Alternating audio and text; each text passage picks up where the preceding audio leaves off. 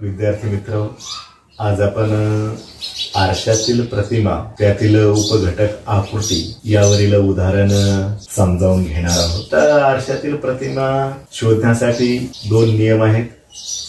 उजवी बाजू डावीकडे आणि डावी बाजू उजवीकडे. तर दुसरा नियम वरची बाजू वर आणि खालची बाजू ही खालीच असते. त्यानुसार आपल्याला दिलेल्या प्रश्नाकृतीची आरशातील प्रतिमा शोधायची आहे. या ठिकाणी प्रश्नाकृतीच्या उजव्या बाजूला आरसा दिलेला आहे आणि या प्रश्नाकृतीची उजव्या बाजूला दिसणारी आरशातील प्रतिमा आपल्याला शोधायची आहे. त्यासाठी हे चार पर्याय आपल्याला दिलेले आहेत. पहिला जो काही पर्याय आहे त्या पर्यायामध्ये आपण या प्रश्नाकृतीची जे काही चिन्हे आहेत ती बरोबर आहेत का ती पाहणार आहोत.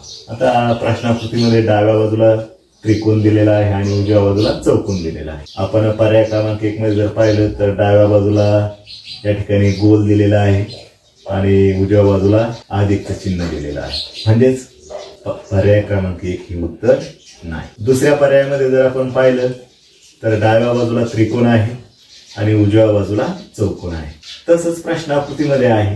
प्रश्न प्रश्नाकृतीमध्ये जे दिलेलं आहे ते तसंच दुसऱ्या पर्यायामध्ये आहे. म्हणजेच त्याचं दुसरा पर्याय हे उत्तर नाही. आता तिसऱ्या पर्यायामध्ये डाव्या बाजूला चौकोन दिलेला आहे. आता या प्रश्नाकृतीमध्ये तो उजव्या बाजूला आहे. हा भाग बरोबर आहे. परंतु प्रश्नाकृतीमध्ये डाव्या बाजूला असलेला त्रिकोण हा उजव्या बाजूला पाहिजे. तर तो उजव्या बाजूला नाही. तर तो त्रिकोण काय आहे? आकृतीच्या प्रश्ना खाली दिलेला आहे. म्हणजेच पर्याय क्रमांक तीन हे उत्तर नाही. आता पर्याय क्रमांक चारमध्ये आपल्याला पाहायचे आहे.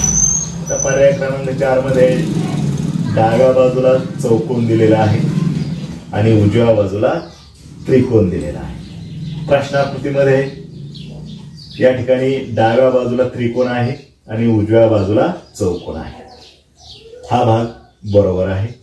तसंच प्रश्नाकृतीमध्ये डाव्या बाजूला गोल आणि उजव्या बाजूला अधिकचं चिन्ह आहे. आता आपल्या नियमानुसार डावी बाजू उजवीकडे आणि उजवी बाजू डावीकडे. त्यानुसार पर्यायामध्ये काय पाहिजे? तर हे उजव्या बाजूकडे असलेलं चिन्ह डाव्या बाजूला पाहिजे. ते पर्याय क्रमांक चारमध्ये आहे. आणि हा डाव्या बाजूला असलेला गोल हा उजव्या बाजूला आहे. हे देखील पर्याय क्रमांक चारमध्ये आहे. यावरून या प्रश्नाकृतीचं जो काही पर्याय आहे तो चार हा काय आहे? बरोबर आहे.